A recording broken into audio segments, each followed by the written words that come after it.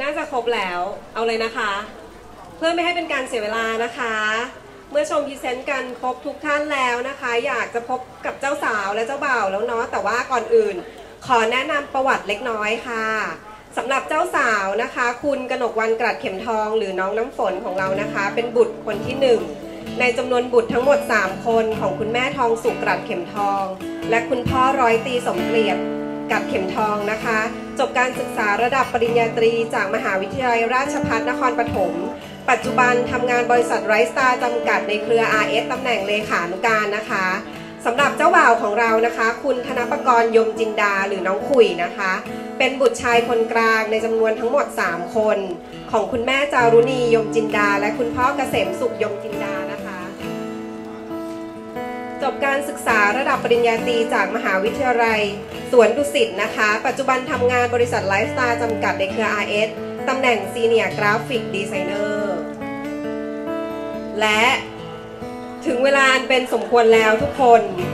ขอปรบมือต้อนรับผู้บ่าวสาวของเราในวันนี้ด้วยค่ะออกตามหาซึ่งกันและกัน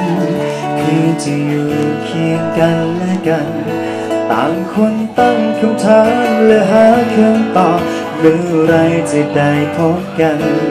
จากตรงนี้ไม่ไกลแสนไกล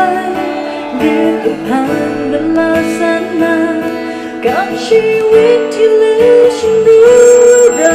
ต้องได้มาอยู่ด้วยกันที่ไหน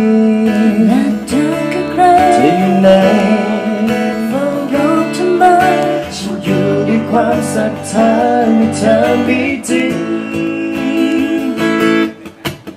เราเกิดเพื่อเป็นของกันและกัน นี่คือบัญชาของสวงสวรรค์ให้เราต้องเจอกันสักวันในชีวิตนี้ เกิดมาดูแลหัวใจอีกดวงเกิดมาเพื่อรักแค่คนนี้ เกิดมาเพื่อ ที่ฉันมีเธอ ค่ะ ขอขอบคุณนะคะน้องเบ